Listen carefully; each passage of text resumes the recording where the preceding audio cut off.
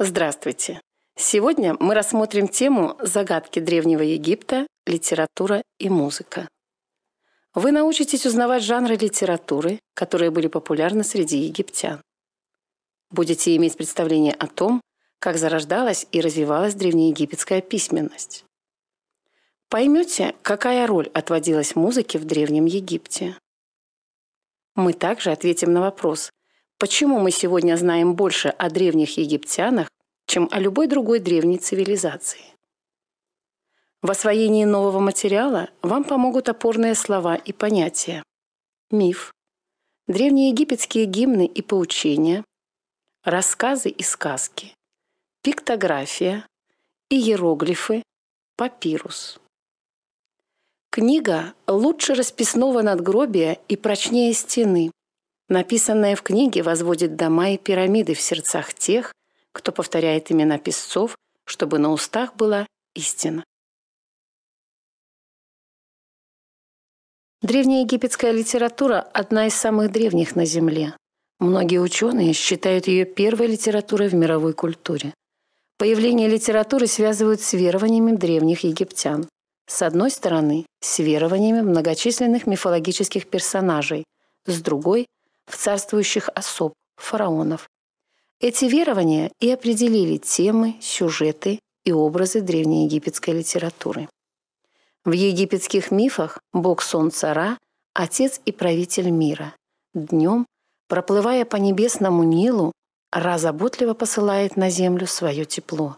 А с приходом ночи он отправляется в загробное царство, где борется с наступающим мраком, освещая подземный мир. Всю ночь раз сражается с силами тьмы. В подземном царстве он встречает главного своего врага, змея Апофиса, который пытается проглотить солнце. К утру Ра убивает Апофиса, и вместе с этим наступает рассвет. Осирис, старший сын бога земли Геба и богини неба Нут, много лет правит Осирис Египтом. Он учит людей премудростям земледелия, садоводства, виноделия. Но однажды его родной брат бог Сет, божество знойной пустыни, желая занять царский трон, убивает своего соперника. Спасает Осириса его безутешная жена, богиня Исида. После воскрешения бог Осирис становится царем подземного мира и судьей умерших. Как и весь растительный мир, он ежегодно умирает и возрождается. Особый интерес представляет посмертный суд Осириса над умершим. В подземном царстве усопший сообщает Осириусу о том, как он жил. Затем на особых весах взвешивается в левой чаше сердце умершего, символизирующее его совесть, в правой – правда. Если сердце перевешивает, значит умерший вел неправедную жизнь, и его съедала Амат, богиня истины и порядка а мат изображали в виде чудовища с головой крокодила и телом льва. Поставьте на паузу. Рассмотрите рисунок. Найдите на нем названных египетских богов. Ответьте на вопрос, какие чувства мог вызывать у древних египтян данный сюжет.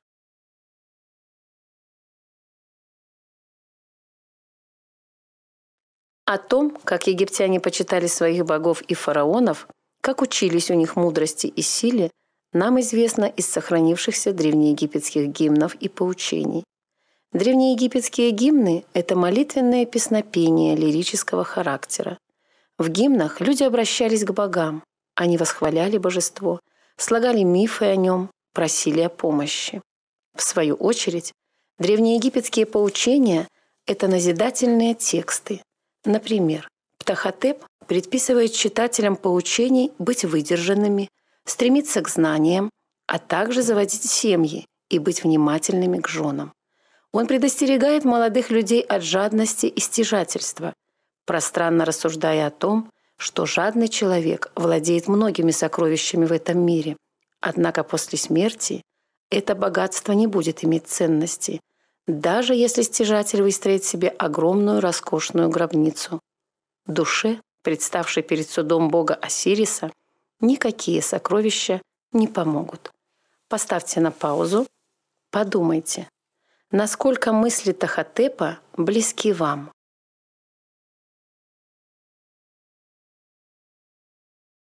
Популярными жанрами древнеегипетской литературы были рассказы и сказки. В рассказе Синухё повествуется о том, как Синухё, вельможа покойного царя, опасаясь за свое положение при новом фараоне, бежит из Египта к кочевникам Сирии.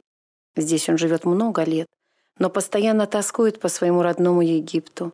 Рассказ заканчивается благополучным возвращением Синухё в Египет. Какое бы высокое положение на чужбине не занимал человек, его родная страна, образ жизни всегда будут для него высшей ценностью. Такова основная идея этого классического произведения египетской художественной литературы. Поставьте на паузу. Ответьте на вопрос, как вы думаете, чему учит Синухё людей, живущих в 21 веке? Очаровательная сказка о потерпевшем кораблекрушение. Ее герой попадает на необитаемый остров и встречает там старого змея, выказывающего по отношению к нему отеческую заботу. Зарождение древнеегипетской письменности связано с появлением рисуночного письма – пиктографии. Пиктография – вид письма, в котором предметы, события, действия, понятия, их связи передаются с помощью зрительных образов, фигур, схем, упрощенных и обобщенных изображений. Примером является палетка Нормера. На обеих сторонах палетки имеются рельефные изображения фараона Нормера. Палетка исполнена в виде победной стелы, повествующей о триумфальной победе Верхнего Египта над Нижним. Постепенно вместо упрощенных и обобщенных изображений стали появляться знаки-символы. Например, изображение двух идущих ног означало «идти». Так появились иероглифы, считавшиеся священными. Иероглифов было много, почти 800. Запоминать их было непросто. Поэтому писцы считались привилегированной частью общества. Писцами были мужчины. Они вели дела при дворе фараона, в армии и храмах. Песцы были заняты во всех отраслях хозяйственной и административной жизни Египта. Под их надзором происходило возведение монументов, ими записывались указы фараона, истории, ходившие в устном виде среди низших классов египетского общества, рассказы чужеземцев.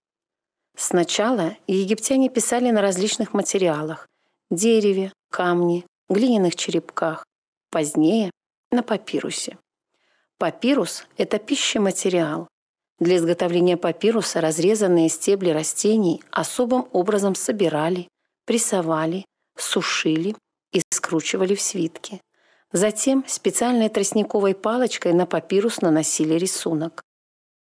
Представление о том, что являла собой древнеегипетская музыкальная культура и как именно выглядели музыкальные инструменты в то незапамятное время – складывается благодаря многочисленным барельефам с изображениями музыкантов, сцен музицирования, обнаруженными в древних гробницах фараонов.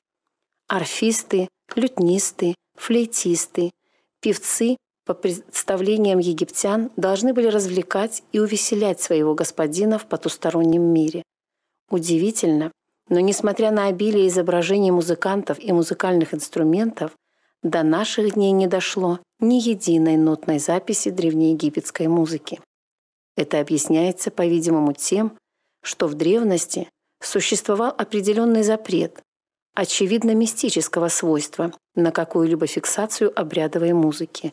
Она была слишком священна, чтобы быть доступной массам, и владели этим удивительным искусством только жрецы. Поставьте на паузу. Подумайте, по каким еще причинам до нас не дошло ни одной нотной записи?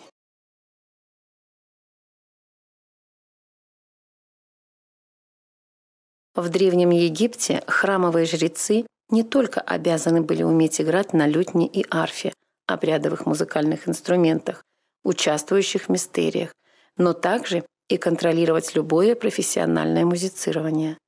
Человек, принадлежавший к низшим слоям населения – не мог даже помыслить о том, чтобы взять в руки лютню или флейту, не говоря уже об арфе, традиционно считавшейся инструментом храмовых жрецов.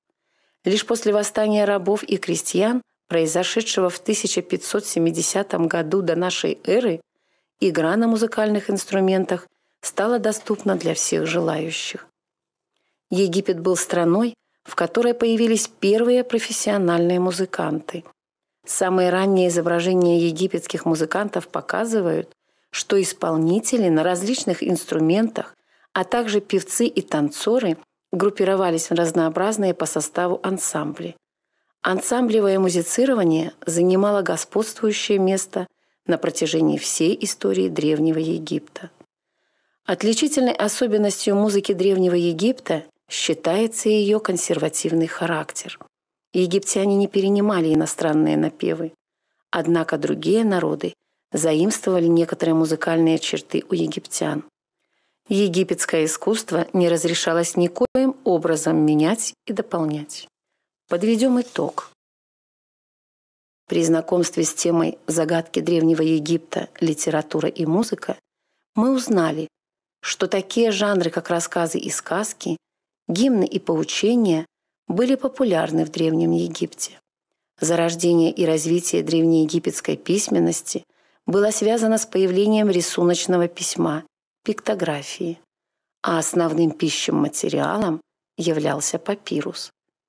Музыка же сопровождала жизнь древних египтян в разных сферах деятельности. Теперь ответим на ключевой вопрос. Мы знаем больше о древних египтянах, чем о других древних цивилизациях, благодаря письменному языку, который они оставили после себя. Для закрепления материала поставьте видео на паузу и выполните задание. Прочитайте гимн Осирису вслух. Постарайтесь сделать это как можно выразительнее. Какое впечатление произвело на вас это произведение? Выполните следующее задание. Придумайте и нарисуйте 2-3 иероглифа, означающих выбранные вами предметы или явления. Что в процессе работы было для вас особенно трудным?